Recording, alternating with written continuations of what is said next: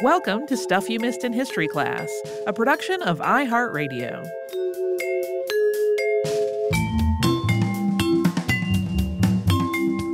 Hello and welcome to the podcast. I'm Holly Frey. And I'm Tracy V. Wilson. Tracy, we're kind of at the official end of summer in the Northern Hemisphere. Yeah. But you know what? What? Sun protection year round. Yeah, it's true. It's true. Everybody has that story of like, my cousin got the worst sunburn of their life in December or something similar to that. Yeah. It's because the sun It's still there. it's still, there. It's, you're still getting rays. Um, I'm always, you know, I, because I'm a very pale person, I'm always thinking about this. Uh, but I also had a chat with one of my neighbors recently about my mowing clothes because I go out in full coverage. I'm sure I look like a crazy Victorian clown witch. Uh, I don't care. Mhm. we can talk more about that on behind the scenes. But uh, that also got me and that neighbor talking a little bit about sun protection, which is, of course, as we have been saying, very important. So I thought it might be good to discuss how we got to the point where nowadays you could buy SPF 100 sunscreen. Certainly not always the case. No. Even in our lifetimes, we've seen a lot of changes in sunscreen. Yeah, I feel like when I was a kid, the max was like 15. Mm-hmm. Uh, and that seemed like I don't know. Is that overkill? Uh, it is not. Not at my house. So, so today we're going to talk about the history of sunscreen a bit, and first we'll talk about some very early sunscreen efforts and the ways that people around the globe have protected their skin, and then we're going to focus on the work in the 19th and 20th centuries that developed sunscreen care for pale people like me mostly folks in Europe and North America, although there's an Australian part that comes in there. Uh, and then we're going to talk about some of the more recent developments in the field, both good and bad. It's sunscreen day on Stuff You Missed in History class. It is. It is. As is often the case, we don't know precisely when people started using sun protection. Most science papers about this mention that since humans generally had dark skin when everyone was clustered around the equator, melanin levels in their skin would have made some kind of sun protection less of a priority. I'll just take a moment to note sun protection is important For everyone. for everyone, regardless of their skin tone. We'll talk about a little bit about why. Yeah. Yeah. So, as humanity uh, spread out of that region, more people's skin tones took on paler hues because the climates were cooler. Clothing became more full coverage. And so, people, even though they might have paler skin, they were getting less sun exposure overall. Over time, skin pigmentation got less and less. So, at some point, it became necessary to find ways to fill the gap that was left by dropping melanin levels in the skin. So that means in the 100,000 years or so between 300,000 to 200,000 BCE, it's unclear exactly how much any of our ancestors were really intentionally focusing on sun protection. But that doesn't mean that it wasn't happening. There's evidence that various groups of people in sub Saharan Africa were using ochre in a variety of ways, including the possibility that it was a sunscreen.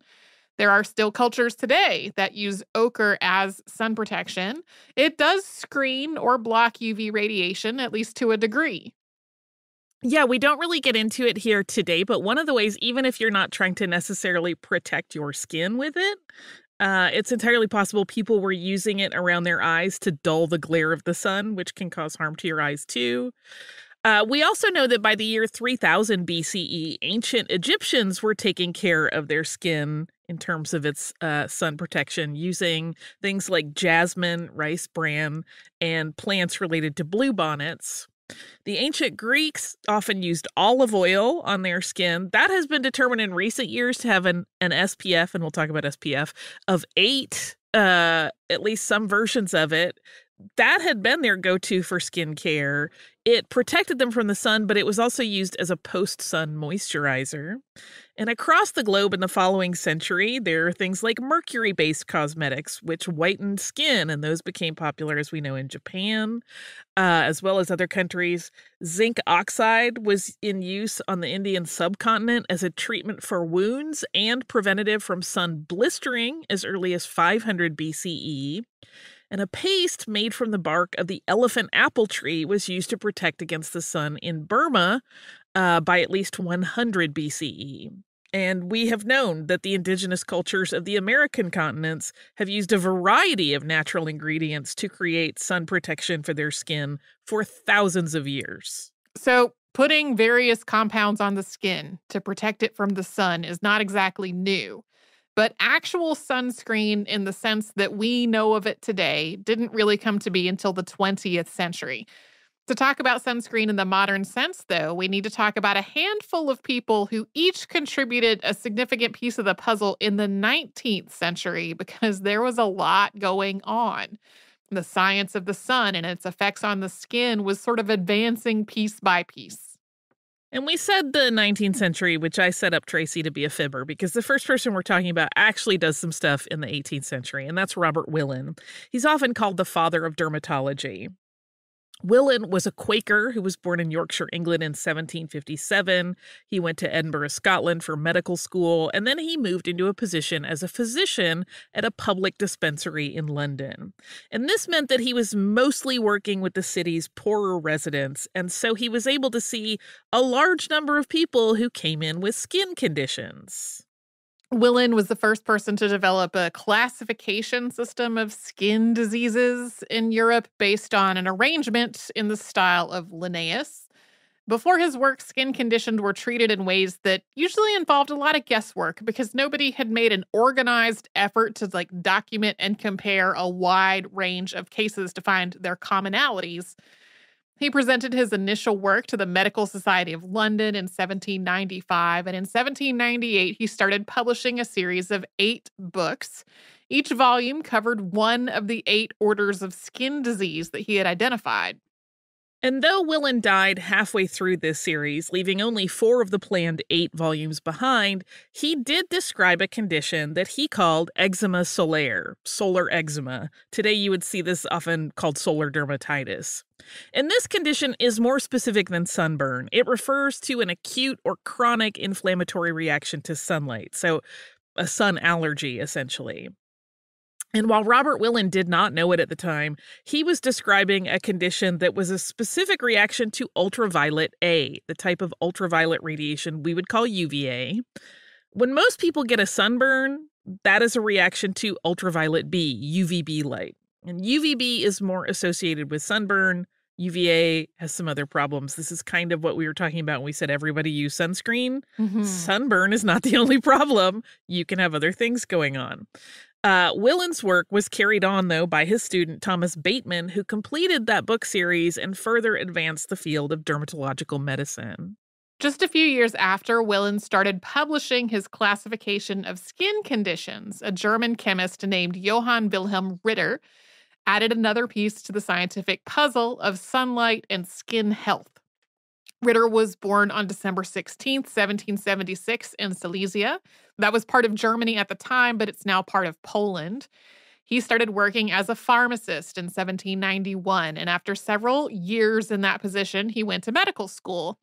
He also conducted a variety of scientific experiments, including with the decomposition of silver chloride, Photography buffs in the audience probably know that silver chloride is a photosensitive compound. It breaks down in sunlight, and that's why it's used in black and white photography.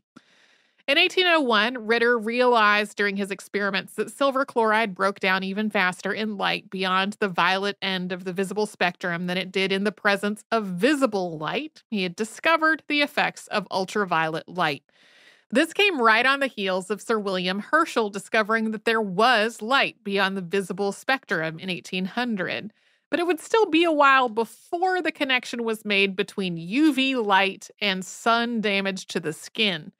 Ritter moved on to working on experiments in electricity and then died at the age of 33. So he never realized just how important his discovery was. It's it seems like he, we don't really know what he died of concretely. It was probably not directly an electrical accident, if that came up as anybody in anybody's mind as a possibility.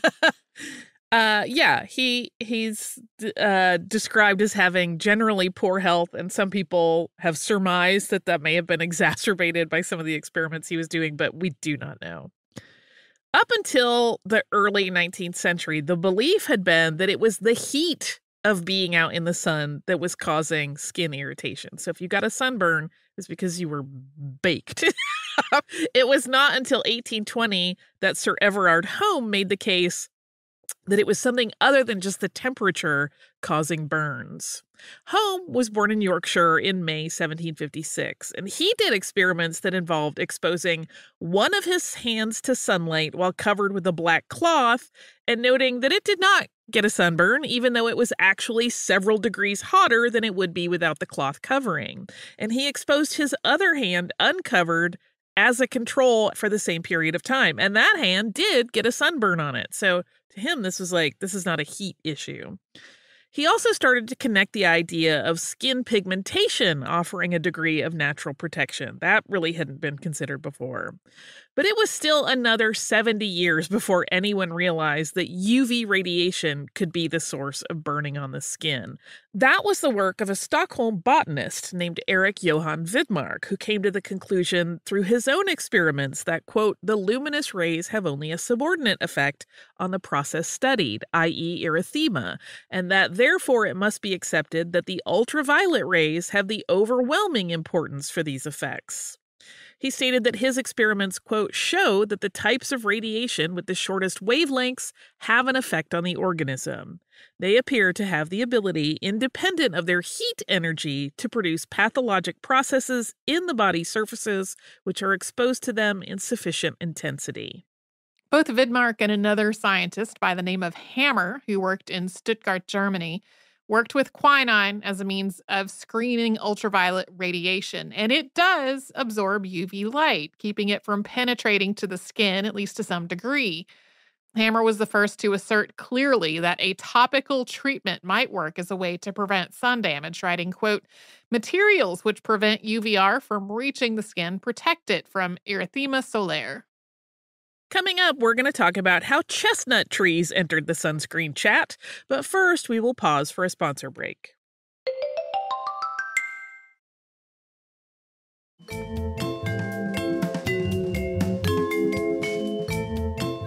As an improvement on the benefits of quinine as a screener of UV radiation, the next substance to be tried for the same purpose was esculin derived from horse chestnut trees. And this was part of the work of Paul Gerson Unna, a German doctor born in 1850 in Hamburg. Dr. Unna was the first scientist to connect skin cancer and sun exposure in the 1890s, and he sought preventative substances that could be applied to the skin. In 1911, Unna created and sold a topical lotion called Zeozon, which was 3% esculin, and then he released a follow up to that called Ultrazeozon, which had 7%. Soon, similar experiments and products were being introduced by other doctors and scientists with a variety of sun screening ingredients. These included tannin in an ointment suspension, and there was even an experiment using procaine injected into the skin. That one was obviously an experiment, not a marketed product. Throughout all of this, there were also analyses of the problems and testing the efficacy of any potential sunscreen. It's hard to test across multiple subjects because different people have different levels of sensitivity to sun exposure. It's hard to replicate sun exposure, even day to day, if you're using the sun itself as your source because the weather changes and if the test compound isn't applied perfectly evenly, the results are going to be mixed. So today we can create lab scenarios that get around a lot of those issues, but in the late 1800s and early 1900s, it's a little trickier. Yeah, there is a, a whole paper where where these are being outlined and it's like, okay, but like it's really hard to measure if subject A got the same amount of sunscreen as subject B, and like if the exact depth of its application is the same. And I had not really thought about it, but I'm like, oh, yeah, that would have been really hard then. uh, another development, though, at the end of the 19th century was the successful synthesis of oxybenzone. This, too, was a German development. So, oxybenzone is found in some flowers, and it's a derivative of benzophenone. And it is very good at screening UV rays. And it eventually ended up in a lot of sunscreens, although it took several decades for that to happen. It wasn't until the 1950s that oxybenzone was recognized for its potential in sunscreen use, but oxybenzone has some problems. We're going to get to those later in the episode. Even though the concept of UV protection entered the picture as a feature of products applied to the skin for sun exposure, in the 1920s, people were thinking more about tanning. This started quite early in the 20th century, just after World War I. This was because in the post war period in Europe and the United States, there was more cultural emphasis on doing fun things and engaging in healthy outdoor activities. So, having kind of a sun kissed look became pretty popular for people with fair skin. Sometimes this trend is credited to Coco Chanel because in 1920, pictures of her with a tan were published after she got back from a cruise vacation. Yeah, there is one account that suggests that she invented sunbathing. Probably not. Uh, but there was simultaneously an effort to focus on the more protective angle of sunscreens. Joseph Maria Eder was a Viennese chemist, and he was born in 1855. His place in history is mostly related to photography because he specialized in chemical development processes. But he noticed in the course of his work that photographers often came down with ailments that were likely related to the chemicals that they worked with. So, to get a better understanding of the situation and perhaps improve it, he partnered with a man named Leopold Freund, who was a radiologist born in 1868 to study those ailments. And one of the things that they realized was that ultraviolet light was causing skin damage in photographers and other people as well, presumably. So they developed a product called Antilux to provide UV protection. One of the ways that they demonstrated the efficacy of their product was to use this cream that they created to write the word Antilux on the backs of volunteers and then expose them to UV light. And as the subjects developed sunburn or tan, the word stood out in stark white against the sun affected areas. They would take pictures of them. You can find them online. Um, I can't imagine wanting a corporate logo sunburned upon my back, but uh, this was a good way to show how effective it was. Yeah, I want to avoid being sunburned in general. Yes. In 1932, Australian consumers had their first chance to purchase a mass market sunscreen. It was created by Adelaide chemist H.A. Milton Blake. Once Blake had a formula that he thought would work, he tested it at the University of Adelaide. He had that test done by a professor named Kerr Grant. Testing showed that this was effective, and Blake started Hamilton Laboratories, combining his first initials and middle name. His sunscreen used the compound phenyl salicylate as a sunscreening agent, and his company is still going today, although now it's part of Key Pharmaceuticals. French pharmacist Eugene Schueller was born in 1881, and after receiving his chemistry degree in 1904, he started making hair color and distributing it to salons in Paris. That hair color name is going to be familiar. It was L'Oreal, so he was the founder of L'Oreal. By the end of the first decade of the 20th century, he had founded a hair care company that eventually grew into L'Oreal. That was not its original name. In the early 1930s, the successful Schueller started to sunbathe on his boat while traveling, and he recognized the need for a product that would care for the skin during sun exposure. The result was a product called Ambre Solaire, a sun tanning oil that was advertised as protecting the skin.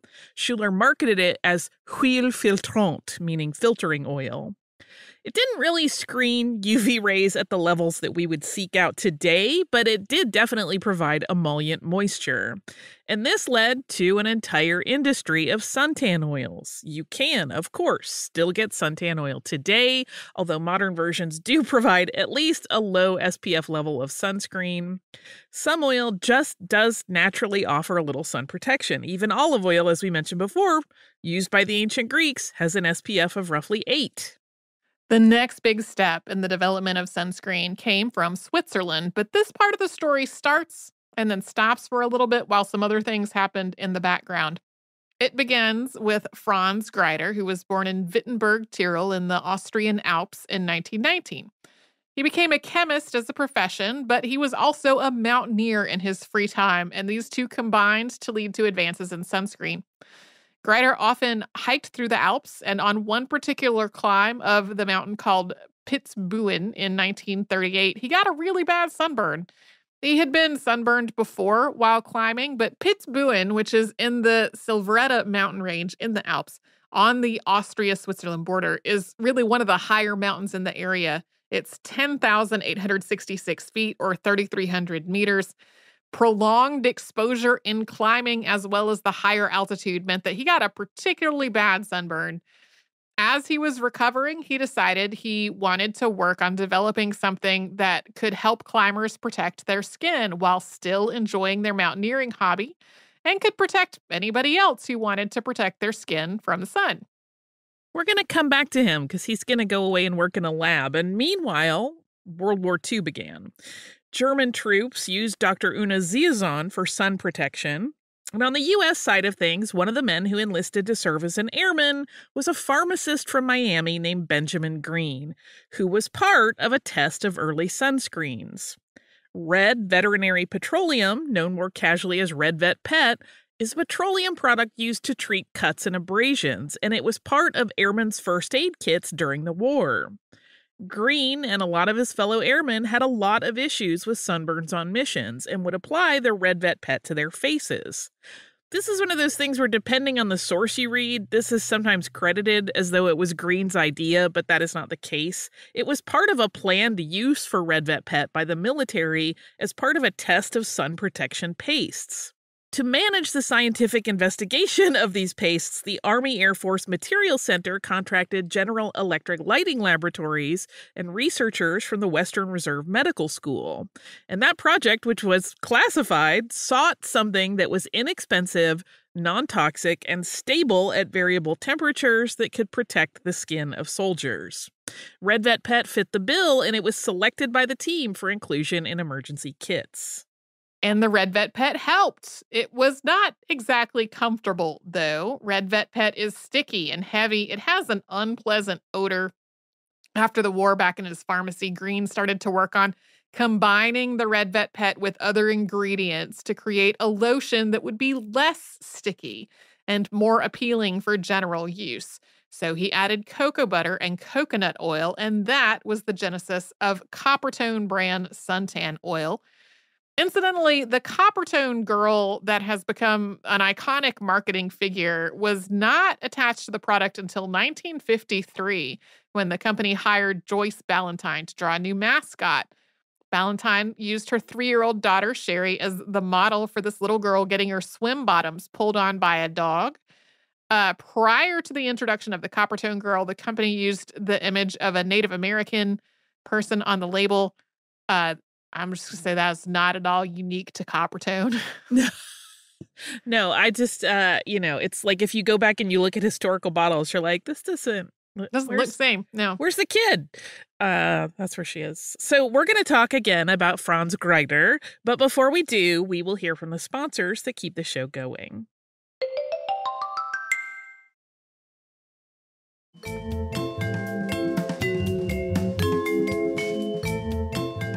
1946, Franz Greiter once again appears, this time to bring the results of his work to market, and that was in a product called Piz Buin Gletschercreme, which translates to glacier cream. This product and others that he worked on were developed alongside Greiter's wife, Marga, who is usually referred to as a beautician when you read about them, but really she would be more likely closer to what we would call an esthetician in modern parlance. She was an expert in skincare and uh, skin health. So, together, they wanted to not only meet consumer desires for getting a tan and preventing a sunburn, but also to provide excellent skincare. The concept of SPF ratings came after these early sunscreens, and that is another effort that's attributed to Franz Greiter. But to be clear, he did work in the area and he helped popularize the concept of SPF, but there had been other scientists before him working on that idea. SPF, of course, means sun protection factor, and it's a rating that shows how much sunburn protection a product has. It's determined by testing that shows the amount of UV exposure you would need to get a sunburn when wearing the product versus when you are wearing nothing. This is a thing that uh, more modern discussions of make very clear that this does not have to do with time but the amount of UV radiation hitting you. So the higher the number, the better you're protected. But that rating only applies to UVB rays, not UVA. Additionally, it's been estimated that because of incorrect application, many users only really get half the label value benefit of any sunscreen's SPF. Uh, this has led to calls from some researchers to scrap SPF altogether in favor of a new, more accurate system that idea hasn't gotten any real traction, at least not that's hit market yet. We can talk more about why the time thing has been uh, repeated so much historically versus how now they're saying amount of radiation. Uh, initially, that is what it what it was kind of marketed as. Greiter continued to work in the sunscreen field for decades. In 1967, papers across the US and Europe ran headlines like Suntans with Pay Offered. The articles were all reporting on how Greiter was recruiting young women to be part of his latest tests, and that came with a trip to Spain. The chosen ladies would have their skin divided into squares with a different formula used on each section to see how all of them performed.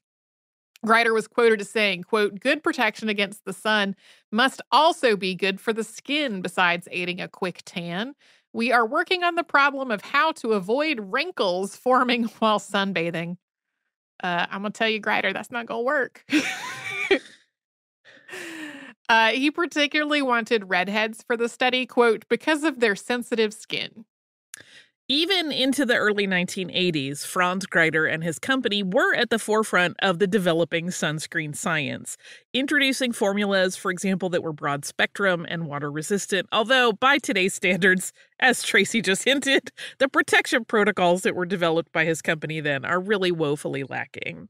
For example, in 1981, Piz Buin printed what was called the TAN plan on all of their packaging, and it suggested using a high SPF product meaning one with a six or eight rating, for several days of sun exposure before trading down to a three or four SPF uh, to ensure a perfect tan. Because by that point, your skin would be producing melanin. Uh, we know that that's not enough. And at the time, the SPF 8 cream that was on the market was like the big number, and it was touted as given, quote, almost total screening to facial skin. Just a few years before that, in 1977, the importance of screening UVA rays was finally recognized. Prior to that, the idea had been that because UVB rays were the ones that cause sunburn, those were the ones most sunscreens focused on. That enabled uh, UVA rays to help sunbathers get the tans that they wanted. But in the late 1970s, scientists realized that UVA rays were causing long term damage to the skin. UVA rays make up 95% of UV radiation, and they can cause all kinds of problems, including premature aging and indirect DNA damage that includes skin cancer. Right on the heels of this information regarding UVA, the US Food and Drug Administration introduced sunscreen regulations and they approved 14 UV filters, meaning substances used in sunscreen products that absorb UV rays and prevent them from penetrating through to the skin. The most commonly used today are aminobenzoic acid, oxybenzone, avobenzone, octisalate, and octocrylene. The early 1980s saw a huge jump in SPF products with the first SPF 15 sunscreen introduced. The decade of the 1980s also saw the first controversy surrounding a UV filter ingredient. Para aminobenzoic acid, referred to on sunscreen labels as PABA, all caps, began to be reported as causing allergic reactions, and more problematic was found in one study to cause damage to DNA. It wasn't banned by the FDA at that point. That didn't happen for a long time, but a lot of companies went ahead and reformulated their products to exclude PABA as an ingredient. Yeah, I remember when I was a kid, my mom specifically looking for PABA free. Uh-huh. And it was because we thought that it was irritating my skin. I was sensitive to some things. So, it was. yeah. Another development in the 1980s was the introduction of colorful zinc oxide products meant not to blend into the skin, but to add some flair. This is important because it marks the rise of a product different from sunscreen, and that's sunblock. So, sunblock includes either zinc oxide or titanium dioxide, both of which reflect UV rays away from the wearer.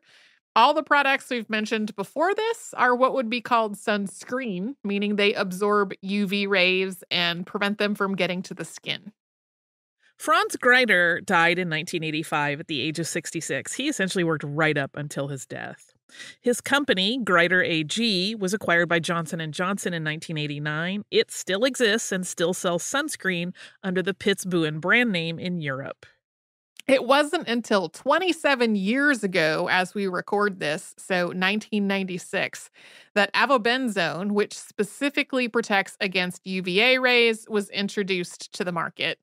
Greiter and others had been incorporating ingredients into sunscreens that targeted UVB and offered some protection against UVA, but this was the first that was really made specifically to guard skin against UVA. Today, of course, you can buy sunscreen that is rated SPF 100, as we mentioned at the top of the episode. Although the Skin Cancer Foundation notes that outside of lab conditions, the reality is that an SPF over 50 may give users a false sense of security, when really any product should be reapplied every two hours or more often if you're engaging in activities in the water or where you might sweat a lot. Yes, even if the label says they are water and sweat resistant. So then the benefit of a super high SPF is really only marginally better than something rated SPF 50. The one caveat here is for people with extremely sensitive skin, or for example, if you have albinism or some skin condition, then go like all the way is Go for what it. you should always do every time. Yeah. Yeah. I think a lot of my like sport sunscreens say on the label 80 minutes. Yeah. 80 minutes in sweating or wet conditions. Uh, the development of sunscreen to protect human skin has, according to a number of studies, come at a cost to the environment. A lot of the ingredients used in sunscreens have been identified over the years as harmful to plant and animal life. That's particularly the case in the kinds of places people are most likely to slather themselves in sunscreen, which is beaches. Oxybenzone, in particular, can wreak havoc in ocean ecosystems, particularly with coral. Hawaii banned oxybenzone in 2018, as well as octinoxate. Other areas known for the fun in the sun tourism have done similar.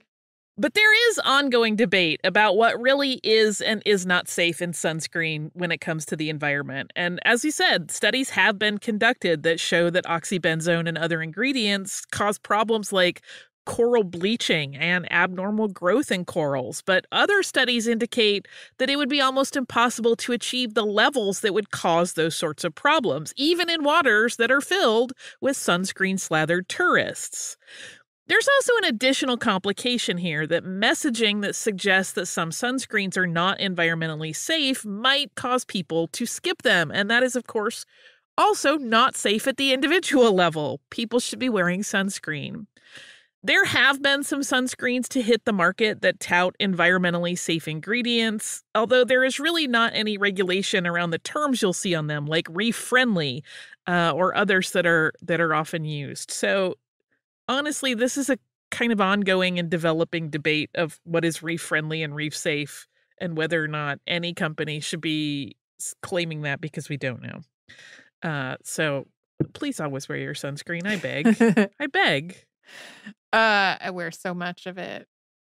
I hate it though. Maybe we'll talk Do about you? that. Oh, I- we'll talk about my favorite sunscreen. We are not endorsed by it, but I love it. Okay.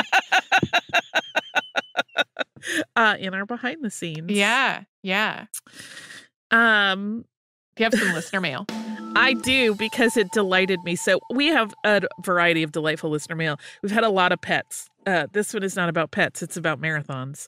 And this is from our listener, Marcia, who writes Dear Holly and Tracy. I just finished your episode on the 1904 Olympic Marathon. And when you mentioned Cuban mail carrier Felix Carvajal, it reminded me of my brother in law, Mark, also a mail carrier for the USPS, and his marathon experience. Like Carvajal, Mark has always been fit, but never professionally trained as a runner. He played multiple sports all his life and was very good at baseball and softball, especially, but for him, sports have always been about fun times with people he enjoys.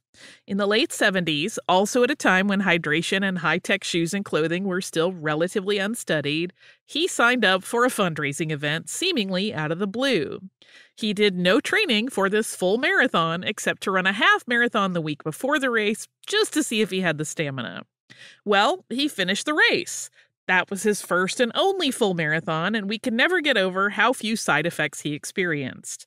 The most he ever admitted, and only to my sister slash his wife, was that over the next few days delivering mail door to door, he chose to step backwards down the doorsteps because it was less painful for his very sore leg muscles. He is amazing and a very humble example of a great human being. Thought you would like an upbeat note after those campaign finance episodes. I have been listening since the podcast was titled Factor Fiction, so I earned my PhD before I even knew that was a thing. Thank you for your excellent research, very professional delivery, and vast range of topics, and your skill at making sometimes complex topics very comprehensible. We no longer have any pets, landlords rule, but I sure do enjoy episodes on famous landmarks. Sincerely, Marcia. Uh, I love this story because I know exactly what that sensation is of Mhm. not wanting to go down steps. Mhm. Like, I have always said, and I think a lot of people that do a lot of sports and specifically running will say when they're very, very sore, they can walk up steps okay, but down is a whole different story. And it's because, like, both the bend of your knee and for a lot of people, I know for me, like those muscles at the back of your legs, kind of at the base of your glutes, are like, oh no, thank you, when you try to do Mhm. like the bend down. So I usually have employed not a backwards maneuver because I'm too scared. I'll do a sideways situation. But if you're stepping onto the straight leg instead of a bent leg, it just makes it easier for me and apparently many other people. Um, thank you so much for this this email. I too have had friends that have done marathons with no training. Um, that is very scary to me. But if you're very fit to begin with, I don't recommend it, but I still think you can get away with it. Uh, as clearly Mark did and many others have. Felix. Uh, if you would like to write to us about your lack of marathon training, your pets, or anything else, you can do that at historypodcast at iheartradio.com. You can find us on social media as Missed in History. And if you haven't subscribed to the podcast yet and you think you want to, you can do that on the iHeartRadio app or anywhere you listen to your favorite shows.